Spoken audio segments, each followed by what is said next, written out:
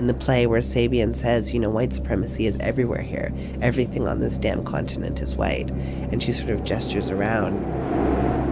The textiles don't just reference icebergs and cold and snow, they also eerily look a little bit like Klan robes, and the way that they're hanging from a peak, you know, make them sort of reminiscent of something else.